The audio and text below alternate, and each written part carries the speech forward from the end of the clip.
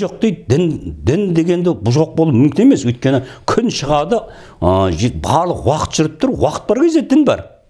Сенің ол дінің деген уақытың ғой дінге бәрі. Айналып келгенде кейін сол уақыттың бәрі жиналып жиналып уақыттың жиынтығы текке айналады тектен тағдыр пайда болады мінекей.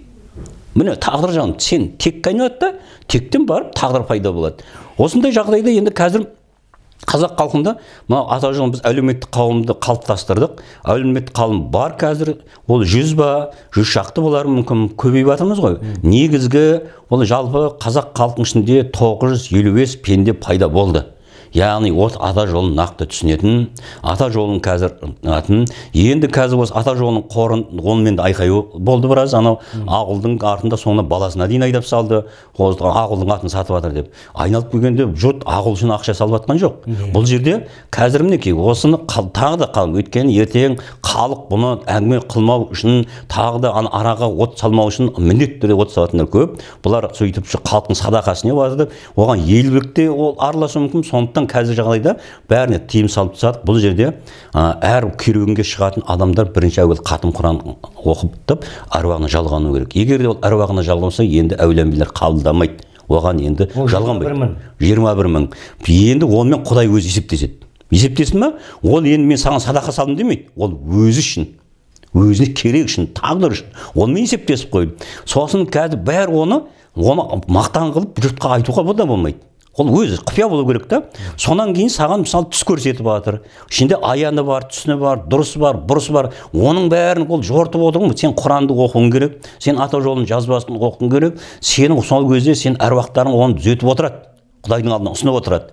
Бірақ сен сол әр нені түсіңді сол көрген аяныңды жақсы жаман- жаманнан сақтау үшін сен соны өзің садақамен бекітіп отыруың керек. Ол да сенің құпияң. Кейбіреу маған садақа салдым түсіме деп жатады да. Ол дұрыс емес. Ол сенің құдайға тәуекеліңде көрдің түсті. Ал өзің жордың немесе немесе жақсылық немесе ата жолының қызметшілері бар. Білмесең соларға жорттың да сен түсіңді бекітіп қойдың мінекей. Ол жорту алдында бекітіп алу керек та. Бекітіп қойдың өйткені ол басқаша жорып қалуы мүмкін да.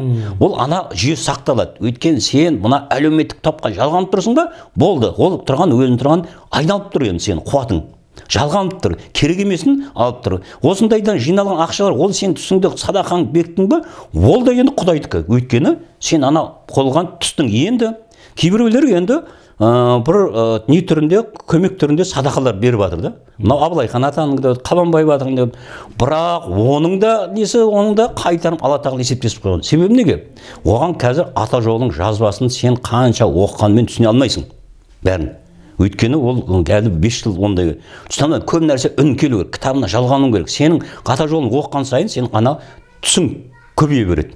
Құран ата жолын жазбасын бұндай жағдайда енді сол ата жолының жазбасын алла тағала маған жазғызды ғой ауылға жазғызған жоқ маған жазғызды маған жазғаннан кейін қуаттың бәрі мен арқылы өтеді яғни мен қанша жылғы еңбегіме қанша жылғы осыны зерттегеніме алланың берген жалақысы сенен алып беріп отыр да сен ана садақаңды салдың ана жазбадан сен қуатыңды алып отырсың онымен де есептесіп қойды мінекей енді бір ақ нәрсе бар бір нәрсе бар. Ол қазіргі санатта мен осы уақытқа дейін арпалысып келе жатқан мынау ақылдың бір ашылып жеті мың алты жүз пенде алдына өткен екен әйел бар екеуі бар.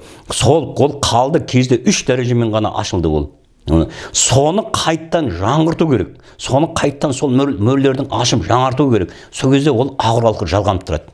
Міне мөр енді кейін тағы да енді осыменен тағы мөр ашылады. Ол жалғыз ә, емес жеті еркек ашылады. Сол жеті еркек бәрі мөр ашушы болғанмен де ол ақылға жалғану арқылы ашылады. Міне айналып келгенде мөр ашу мына деген оның бәрі негізі өткенде ақылға тіреледі.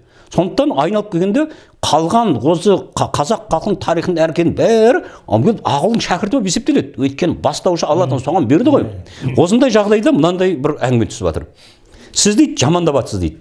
Аққу сұңқарларды не? Мен жамандап жатсыз соған біздің жүрегіміз ауыратын болды. Қанша мен жамандасаңыз да мәрі біз ақылдың шәкірті болып қаламыз дейді. Жарайды дедім мақұл осыны мен бейне жазбадан айтармын дедім. Жарайды бәрін ешкім ол емес ол менікі мынау дариға да назарбаев ол да ақылдан ашылды. Ақылдың шәкірті. Қаласыңдар ал өмірден өтіп жатқандар бар. Оның бәрі әр- оған ешқандай ешкім кедергі оған алмайды оған талас жоқ. Себебі ақылдан ашылдың ба? Бірақ сол ақылдың қайтқан мезгіліне дейін ғана уақытпен ғана қаласыңдар. Онан кейін болды өзгерді. Өйткені ақыл ақыретке кетті ма енді бұл жерде құдай арқылы болады да барлық нәрсе. Өйткені оны ғиса пайғамбарға да солай құранда аят сен сен мен сонда сен мені құдай қылып ал деп айттың ба деп ғисадан сұраған жоқ раббым. Мен мені сен басқарып тұрдың олардың қасында жүргенде. Енді мен сенің қасыңа барамын деп бәрі сен өзің басқарасың деп солай мінекей. Айналып келгенде біз құдайға бағынуымыз керек құдайшыл болуымыз керек. Сонымен қалды болды сонымен доғарды. Ол сол кездегі жақсылық болсын жаман сол кезде бұл ақ қусын қарар онан кейінгі енді қазіргі мына тақуалықты меңгеріп бүгінгі уақытқа заманның талабына сай ғана меңгеріп жатқандар ғана сол ақылдың шәкірті болып есептеледі. Қалғандар жоқ. Сосын сіз енді айтады сіз дейді бәрін жамандап жатсыз дейді. Егер де мен ә, сол мына жамандықтарын айтып жатсам болған жамандықтардың кезіндегі оған менің дәлелім бар. Дәлелім бар ғой. Онан қалай тазаруға болады сол жамандықты меңгеруге болады. Егер де оған мен дәлелім болса ол жамандаған емес ол сынаған болып есептейді да. Мен сынап жатырмын мынау кен мынандай халықты осындай азғыртыңдар отыңдар сендер дұрыс құраннан емес түйсік жасап жатырсыңдар оның бәрін дәлелім бар ғой. Дәлелім бар ма? Демек ол сынаған болады. Енді мен егер де сол бір аққу сұңқарлар жамандап жатсам онда жаңағының мен аты жөнін де білмеймін кім екенін. Мен айтуым керек пәленше пәлен деп. Егер де оның аты жөні айтылмаса оның ішінде жақсы да бар ғой. Мен жақсылардың қазіргі осы ауылдың ашылғандар емес па жақсылардың бәрі қасымда жүр ғой мінекей. Олар не осындай жақсылар ашылып жатыр ғой қазір. Міне осының бәрі мына қазір осыны айтып жатқан еркектердің бәрі етек басы да.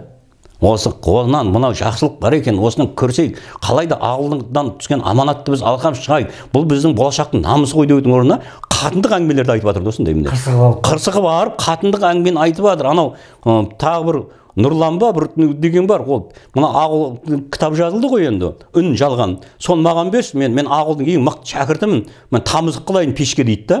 Мына өзі қол деген жалаңаш жалаңбас жұрттың алдында жүріп мен ақылдың мықты шәкіртімін дейді. Міне осылардың бәріне енді нүкте қойылатын уақыт келді. Ол ақылдың басына барып құрбан шаламыз. Ал сол алланың алдында қабыл болу осыған біз ниеттену керек қой біздерге байланысты. Аққу сұңқарлар бар мінекей дәлел деген біздерді алланың алдына ұсынады. Мінекей дәлел осы қанша адам сондықтан тақуалықтар бар. Осыны меңгергендер ғана қатысасың деп отқан алла тағаланың алдында зираттағы бірінші алғашқы қауымды ұқсатады мінекей бұлар ақылдан шыққан. Енді әрі қарай ақылға ұқсат бер қалғанын түзеуге деген. Құдайдан ғой бәрі. Міне осындай жағдай. Бұл қазір қазақ халқында болып жатқандар мына шәкәрім атамыз айтқан ғой. Жалпы дін дегеніміз не дегенде құдай бар ұждан дұрыс қиямет шын деген. Үш нәрседен барлық діндер тоқсады деген. Қазіргі бүкіл әлем дінсіз емес. Қияметтің шындығыменен өмір сүріп жатыр қиямет шын екенін біліп жатыр апат болып жатыр не болып жатыр қалай да сонан сақтанамыз деп арпалысып жатыр да. Қиямет шын. Қытайға дейін мына терроризм бәрі жатқанда арпалысып олар қалай аман қалуды ойлап жатыр ана қазақтар қорлап жатқанда. Олар дін іздеп жатыр айналып келгенде. Өзінің дәрежесін ақылын жеткені иә. қияметтің шын неге ол ажалменен күрес қой енді? Сен егер де өлімнен сақтанбайтын болсаң сен бәрі сол өлімге бар. Қазір біз не істейміз? Жалаңаш жүріп бізге енді өлім келді ғой жалғанды қара нәрсе ол ажал. Ажалға жалғанып аламыз да біз алданғанбыз соны тәнімізді неше түрлі азықпенен неше түрлі дәріменен біз тәніміз тозып болды. Жанымызды жоғалттық қиямет үшін. Бұл кезде міне біз енді қияметке шынға біз ажалға өзіміз ұсынып жатырмыз. Бұл жерде не керек енді? Ұжданның дұрыстығы керек. Ұжданның. Сол ұжданның дұрыстығын қалыптастырамын деп жатқан мазхаб мінекей мазхабшылар ұжданың дұрысын мына ұят болу керек ұждан болу үшін анау болу керек деп олар өзіңіз сөйтіп отырды да олар не істеп отыр? Ұжданның дұрыстығына жұмыс істеп жатырып бірақ құдайдың барлығына кедергі жасап жауып тастап отыр. Мазхаб үшін құдай жоқ. Қалай? Құдай жоқ. Құдай болмаса құдай сенімен тілдеседі. Құдай саған хабарын береді. Құдай сені жетелейді. Уақи береді аян береді саған құдай саған көрсетеді құдай. Құранда бәрі тұр ғой. Рабым маған бәрін көрсетеді деген. Ол не? Мен рабы деген. Ол қандай? Сені күре тамырынан жақын деп тұрмын. Сен ішіңнен сөйлеп тұрмын. Бата береді қазір. Ата мынау болып жатқан. Онда онда жоқ. Олар айтады жоқ дейді. Алланың елшісінен кейін мұхаммед пайғамбарынан кейін уақидің бәрі тоқтаған дейді да. Бәрі масхаб мінекей болды. Құдай жоқ. Енді құдай бес уақыт уа- уақыт намаз иә құдайың сенің бес уақыт намаз болып кетті. құдайың сенің мешіт болып кетті неге айналып кетті шоқынатын болдық. құдайың сенің анау имамдар болып кетті. имамдардан сұра сосын қарап отырсаң қазір міне құдай деген құдай не айтты демейді? шариғат не айтты дейді. шариғат құдай болып тұр ғой енді. бір сұраққа тілшілердің өзі шариғат бұған не дейді дейді да? Құдай бұған не дейді деп айтпайды көзқарасы. Шариғатта да адам енді дұрыс қой енді мысалы сен коробкаң кетті соны имамдан барып сұрашы шариғат маған не дейді менің коробкам кетіп тұр ғой енді ол егер де ол айтатын жоқ бұған құдай алла араласпайды десе құдайсыздық мінекей алла бұған сенің коробкаңда шаруасы жоқ саған өйткені сонда алла өзің жаратқан сен сенің барлық нәрсеңе араласады сенің мына гүлді қалай өсіруің керек малды қалай бағуың керек сен қалай өмір сүруің керек қандай киім алланың арыз құдайсыз құрайсың құдайсыз құрайсың ба дейді міне сондықтан оларда ол құрайсыз айтты жоқ сен өзің біл дейді оны сен бір сынаққа түссең былай қарайсың намаз оқы дейді. Құдай не айтады десең айтпайды. Міне құдай жоқ олар үшін. Сосын енді мына тариқатшыларға келсең олар да ұжданның дұрыстығына күресіп жатыр бірақ олар ішінде құдай жоқ. Олардың құдайы пірлері. Менің пірім алды да мені сақтайды сол маған жеткізеді. Оның құдайы пір болып отыр да. Өзінен құдай деген не әр адаммен жеке жеке ол сондай бір адам хабарласып маған ренжісін білдіріп жатыр. Жалғыз ол емес біраз адамдар нетіп хабарласты. Неге олай адам қатты сөйлейді дейді да біздер де біраз білеміз ғой. Қатты сөйлеп жаңағы өзін тәкаппарлық дейді да өзін биік қояды деген сияқты әңгімелер айтып жатыр. Абайласшы абайлап сөйлесінші жайлап сөйлесінші дейді. Міне осының бәрі неден пайда болады? Мынау етекбастылықтарында мына әйел адамға әйел адамға қатты сөйлей берсең оның өзі сенен жиреніп кетеді. Әйел адамға арасында алдау керек. Көп, көп қатерлігін байқамай иіліп отыру керек та. Бірақ сол кезде де ә, алланың елшісінен сұраған ғой қандай еркек дұрыс деген кезде қатал еркектер деген қатты еркек емес. Қатал еркек. Бұл жерде қаталдық неге? Қаталдық анау көрсету керек өйткені ол әйел адам анау кәдімгі от сияқты көбелек сияқты сен жанып тұрған отқа қарай жүгіреді да. Сондай кезде соны айтқан ы, анау қазіргі кезде сендердің бәрі етек бассыңдар деген да алланың елшісі. Ол қалай? Менің үмбеттерім көбелек сияқты. Олар отқа қарай ұмтылады мен қолыммен ысырамын деген. Міне ол не сен еркек сен де көбелекке айналып кеттің деген. Ол әйел адамға тән қасиет қой. Қазір еркектердің бәрі көбелек олар сосын не істейді ана сен ана қатты сөйлемей ол қорқыныш кіреді жүрегіңде тұрған нәрсе ғой.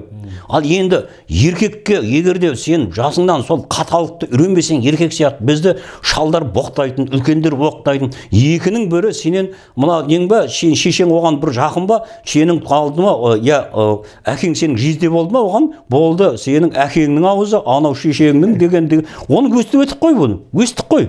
Онан біз ешқандай төмендеген жоқпыз. Бақтауды үйрететін мына ол қаталдық еркекке сән қаталдық керек қой саған. Мен мен есімде қалды да мен қатты боқтайтынмын Иә. баламды иә. әлгі шейін қалып қойды кейде шығып кетеді енді иә сонда әкем боқтатып сонда айтады боқтатып үйретіңдер өйткені батылды болады. Иә енді мен мынандай жағдай көрдім. Мен бір жағынан мынау қазір мынау адай рулары мынау жындылығы көп болды да жындылық. Себебі неге? Ол жерде қарсылық кө- көбейіп кетті да.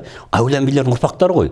Сондықтан олардың ана кәдімгі жынға тән болып жатқаны бірден кәдімгі сөз көтермейтіні ол рас өйткені өйткені олардың алла тағала жаратқанда таза сондай бір дәрежедегі ру болып еді ол. Оның орнына алды да ол қарсылықтарға кіріп кіріп алды да қазір енді түртіп қалсаң болды кәдімгі ол болмайды осындай жағдайда қатылып тұрады. Осындай жағдай мен екі үш рет кездестім. Ә, бір ең бір жақсы есімде қалғаны ә, бір немен келе жатып таксимен келе жатып алдымда бір жігіт жас жігіттер ғой. Енді оны мен бір сол шылым шегіп шылым таста дедім да. Шылым таста дедім. Сосын өзім білемін ғой аға деді да мен айтамын сол экраннан мен енді көтеріліп кеттім да. Не айтып отырсың деп. Не мен осында мен бір еріккеннен келе жатыр дейсің ба деп тоқтат дедім да түстіне түс мынау осы жерде қаламыз дедім. Екеуміз біреу мен шалмын дедім. Сен жігіт көрсет соны сен еркектігің деп. Соны бір кезде анау таксист күлді анау аға кешір деді да бірден. А еркектік та бірден. Жас қой кешір те- темекісін тастады да енді болмайды деп сосын ақыл сұрай бастады ол бір ма? Сол іштен ырза болдым. А мынада азаматтық бар екен деп. Кәне анау жай сөйле деген. Сонан бір пойызда келе жатсам бір жұмыстан келе жатыр екен бір кәдімгі мықты еркектер да сонау алдында мен енді әжетханама бірдеңе ол қана қастарына отырып қалдым. Сосын сөйтіп бір, бір сұрақтар қойды. Пиво ішіп отыр екен. Сұрақтар қойды сол үш еркекті алдым да сойып салдым сол жерде.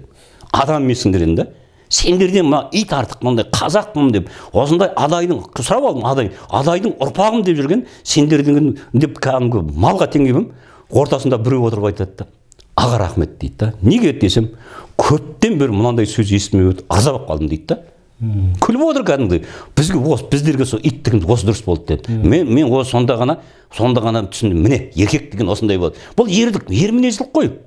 Өзінің қатесін біліп отыр сөйтіп мойындап отыр. Менің артық сөзіме ырза болып отыр. Осы дұрыс маған деп үлкендігімді қадірлеп отыр. Ал ана еркектер ғана жай сөйлеп біз өйтті деген олардың бәрі етекбасылар міне. Олардың онан да онан да дұрысы мына қатын қатын болған дұрыс та дұрыс. Ол, ол еркек бастылық осында қазір діншілер де көп. Сіз өйтіп айтасыз бүйтіп айтасыз. Сіз сыпайы сөйлемеңіз. Шариғат деген ол сыпайылық қой анау ғой пайғамбарымыз бүйтіп айтқан ғой деп. Осының бәрі көркем мінез осының бәрі жалған қазіргі жағдайда сенің ана жыныңа ол қазір мына мен өттім мына жындыларменен жынды болмасаң оны не алмайсың. Оны боқтап тұрған сен боқтамасаң да соның мінезіне кәдімгі әртіспен ойнауың керек. Сонымен сен сен сен де жынды екеніңді дәлелдеп тұрып ана жынын шығаруың керек. Міне осындай жағдайлардан біз өттік. Енді қазіргі мына осы ұжданның дұрыстығы онда құдайдың барлығы да қазір осы біз үшеуінің ә, діннің негізі үшеуінде тоғысады ғой. Енді ол құдайдың құдайдың кәдімгі ә, қияметтің шындығы біз қазақ халқы қай уақытта болсын мейлі көк тәңірден тағынан мына дін үш нәрседен тұрады. Бірінші дін қажырлық деп аталады ой яссы. Яссы деген сөздің өзі қажырлық мінекей. Екінші діннің екінші бұтағы ол сүйіспеншілік оның аты мұхаммед мінекей. Діннің мына үшінші мына өзі үштіктен пайда болады ғой діннің енді үшінші бұтағы ол ақиқат інжіл. Яғни ол ғиса пайғамбармен байланысты. Осы үш бұтақ сол қажырлық ясы дегеннің өзі қиямет шын. Қазақ халқы мына өлімді мына бірінші жолға алған қай замандарда болсын мінекей. Қиямет шын. қиямет шынымен өмір сүрген. Сондықтан бұның қияметтің шындығы тек қазақтың біздің тегімізде тұр да ол қажырлық. Қажырлық деген ол мына өзінің жерді қорғау үшін елді қорғау үшін ешқашанда мына өлімді жеңе берген ажал қарсы тұра берген. Ол қазақ халқында тұр біздің тегімізде. Ол қазіргі сол біздің ана жиендеріміз орыстарда бар. Орыстарға соғыс болса ешқашанда олар ол ана өлем деп ойламайды да. Олар сол ана қияметтің шындығына сенеді мінекей. Қайтып өмірге келетін қазір қайтадан өмірге келетін оның туылатын бәрі қиямет шынның білімі ғой. Соны әруақ дегеннің өзі сол қияметтің шындығымен байланысты. Қияметтің шындығы деген ол әруақпен байланысты. Сен өлесің сен де әруақ боласың өмірге қайтадан келесің. Осының бәрі қияметтің шындығы. Қиямет айналып келеді. Сен қайтадан тірілесің осының бәрі. Ол қазақта ғана бар бұл ең бекем амалы да бәрі де. Екінші мына ұжданның дұрыстығы. Сен ұждандың болсаң ол махаббат болу керек. Сен сүйіспеншілік. Сол жаңа айтып мейірімді болу керек деген осы ұжданның дұрыстығы. Ол қандай? Ол мына мұхаммед. Ол, ол кезінде осы исламды толтырып алланың елшісі құранмен бірге келді мінекей. Ол ұжданның дұрыстығы. Бірақ ол ұжданның дұрыстығын араб халқы толық меңгере алмады. Сөйтті ол құрман беріп жіберді арыстан баба алып келіп мінекей яссауи келіп сол тоғысты. Ұжданның дұрыстығы. Үшінші бұл енді ә, ақиқат. Ақиқат ол інжіл. Ол інжіл ғиса пайғамбар бұл исламнан бұрын қазақ халқында болды. Қазақ халқы екі нәрсемен қияметтің шындығыменен ақиқатпен өмір сүрді. Бізде ұзданның дұрыстығы толық болмап кейіннен намаз оқу арқылы біз толтырдық мінекей. Осы діннің үшеуі де қазір қазақ халқында бар. Себебі енді оның енді дәлелі не? Сол ақиқатпен өмір сүргеннің дәлелі оған да мына жоғары құдай қаласа оның алла тағала ұқсат берсе біз соған келеміз оған дейін әуелі біз тәуреттің есігін ашуымыз керек. Тәуреттің есігін қалай ашамыз? Бұл тәуреттің алдындағы неден тарады міне ол біз жақып пайғамбарды ә, неден?